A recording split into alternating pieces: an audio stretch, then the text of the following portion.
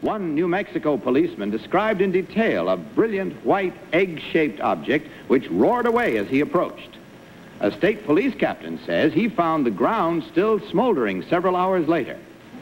While many of the hundreds of sightings each year can be explained as the result of natural phenomena, others so far seem to be without a logical explanation. Signed, J. Allen Hynek.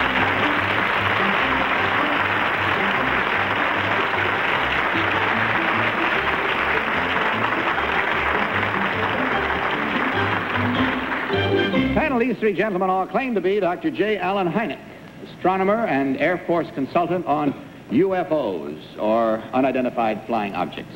Let's start this questioning with Tom Poston, if we may, Tom. Oh, yes. Thank you, Bud. I'll ask number three if there's been any photographic evidence of UFO. Or... There's been a lot of photographic evidence, but none that we can definitely pinpoint and say this is extraterrestrial Extraterrestrial? Terrestrial? from someplace other than the planet Earth. Thank you. Number two, ha- has there been any uh, real tactile evidence? Has anybody been uh, hurt, injured, or touched any of these uh, unidentified flying objects in the air, or on the ground? To the best of my knowledge, no. Uh, number one, has there been any radar evidence that you know of? No, none that I've uh, heard of or that come to my attention through the uh, Air Force. Number, oh, thank you. Peggy Cass. Thank you. Number three, do you think people drive these white egg-shaped things? I mean, people from outer space? You won't find anybody who's a consultant to the Air Force, Miss Cass, who will give you an affirmative answer on that. Oh. Oh. Well, I think Debbie. Uh, number two, who's Long John Nebel? I think he's uh, a radio announcer. Uh, thank you. Uh, number one, are there, uh, uh, have there been many things that you think came from outer space in the last, say, year? I have an open mind on it. There's no evidence to support whether they came from outer space or not. There are uh, 15 or 16 cases during 1963 that have not as yet been thoroughly uh, investigated. There's no good answer to them one way or the other. Uh, number two, this New Mexico police. Orson B. Yes, number one, who coined the expression UFO, unidentified flying object? It was during a newspaper interview after a man named Kenneth Arnold sighted nine objects flying off around near Mount Rainier. Number three, uh, who that used to write for the uh, magazine Variety wrote a book about uh, UFO? I have no idea. Number two, do you know? No, I don't. Number one?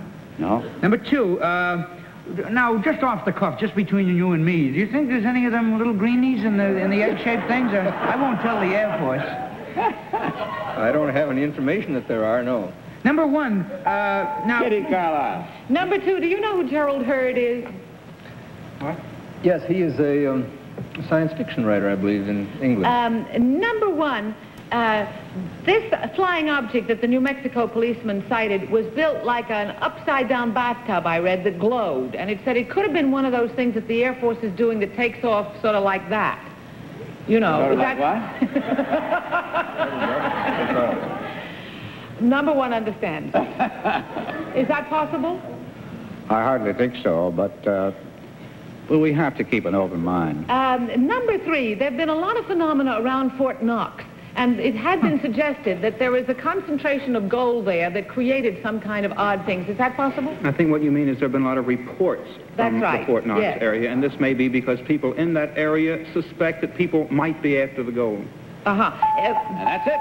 Time for you now to take your flying objects in hand and mark your ballots, if you will, panel. Mark them at once. I won't put my fingers gonna Without my fingers. consultation, simply vote now, if you will, for number one, for number two, or for number three.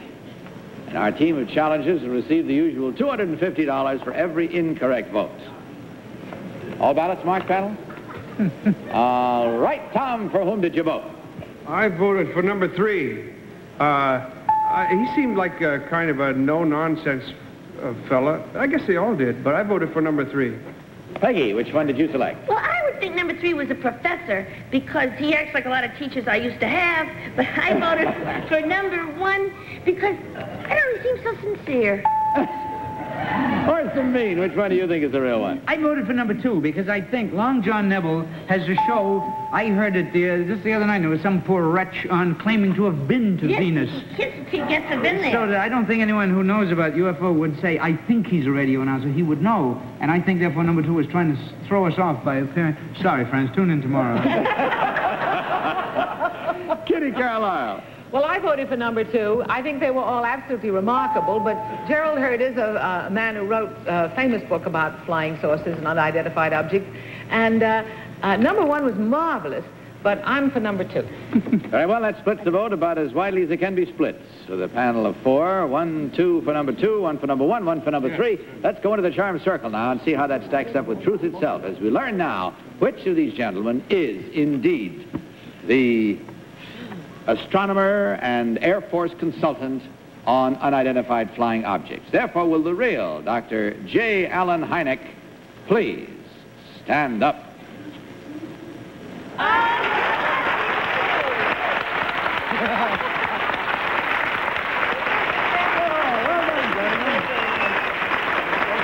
Very well done. Just to set the record straight, Dr. Hynek is chairman of the Department of Astronomy at Northwestern University and director of the Lindheimer Astronomic Research Center. Very, very pleased to have you with us, Doctor. Number one, what is your real name and what do you really do? My name is Frank Amy. I have my own engineering firm in uh, Hopewell Junction, New York, Tankstown. Thank you, sir. Number three, what is your real name and what do you do? My name is Barry Farber, and I do a local interview program on WOR.